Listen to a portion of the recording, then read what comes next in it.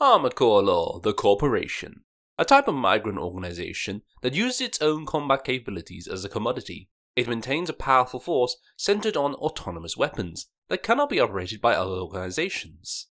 In the Resistance first counterinsurgency operation, they provided strength to the city, but ultimately landed an indiscriminate attack that led to the city's collapse. The name Corporation is said to have been derived from an organization of the same name that existed before the devastation of the world. There is almost no information about the company except that it has intervened in the battle between the city and the resistance and its home base. Total membership and purpose are also unknown. The corporation first appeared on the front page of history during the first counterinsurgency operation.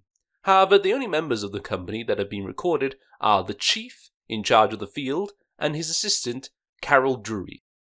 They intercepted the resistance by deploying many mercenaries based on the information from the operation of the resistance obtained by Tyrell. However, it was not until some time after the outbreak of the war that the company deployed their own forces during the second counterinsurgency operation, and even at that time they were targeting individual mercenaries rather than the resistance, suggesting they did not intervene in the fighting simply to annihilate the resistance.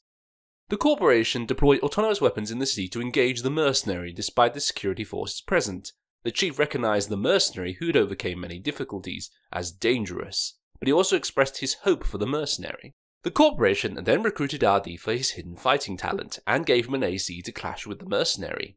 When the representative was detained by the resistance, they destroyed the city with an attack using autonomous weapons. The purpose of these actions is also unknown in detail.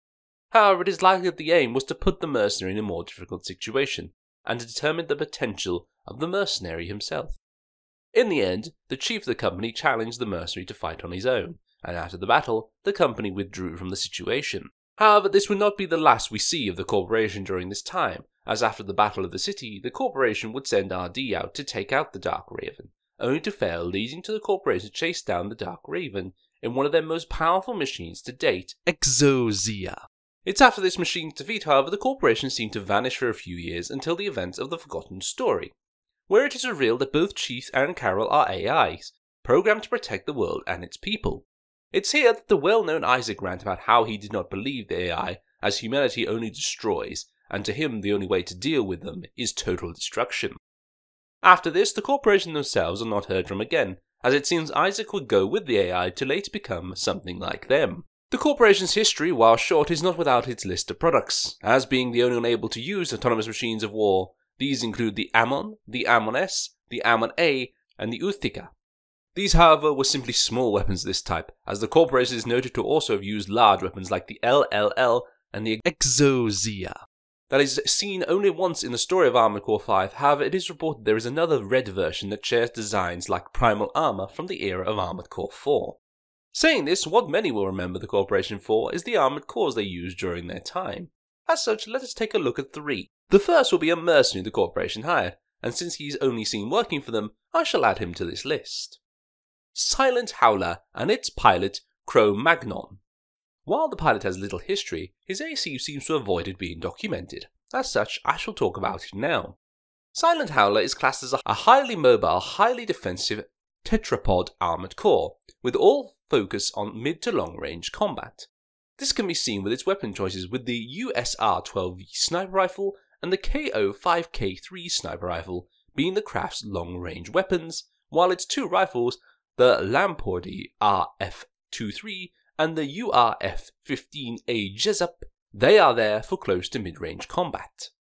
Howler also has the Habas HSM-201 high-speed missiles for that added firepower too. While having a strong weakness to TE weapons, Silent Howler, as stated before, is best used in a long to mid-range combat style, starting off with by using the two sniper rifles to hit hard before switching to the rifle to finish a foe off. Overall, while the inside parts of this unit remain unknown, for now the weapon choice should push a pilot to pick an FCS with a long range capability, while also not forgetting about the missiles the craft uses.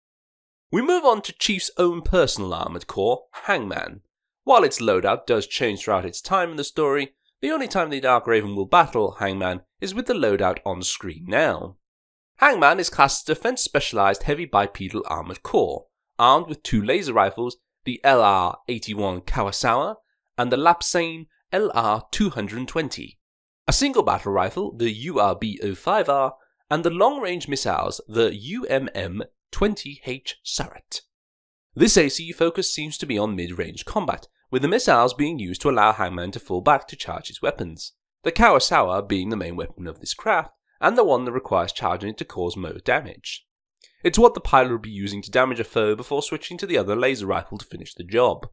The battle rifle and missiles are there to keep the damage on Hangman's foe while it readies the Kawasawa.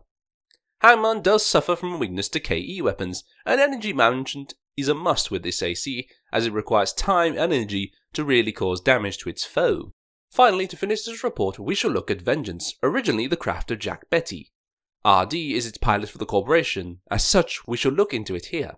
Vengeance is classed as a mobility specialized medium bipedal armored corps, armed with the UEM-3 Mostazo pulse machine gun, the URF-50 Valdoza rifle, short-range missiles named the USM-13 Golbaga, and finally its most well-known part, the ultimate weapon, the Grind Blade. With a weakness to CE weapons, this AC is best at middle range combat, with the pulse machine gun offering fast but little damage, while the rifle is a solid damage dealer and offers a good range. The main feature of this AC is the Grind Blade, a weapon that can only be used once, however offers a very powerful one-hit kill for most armored core foes who it hits.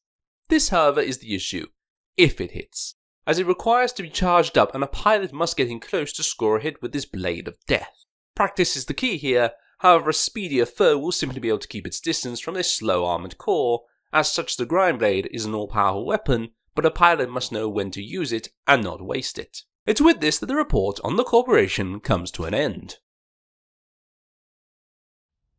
Skirmishes broke out across the globe as the three forces struggled for world domination. Army numbers swelled, and the once proud mercenaries found themselves ostracized for refusing to take sides. The world had come back from the brink of destruction but the fighting only grew fiercer. It was the eve of what would come to be known as the Verdict War. This is the forgotten tale of a lone mercenary.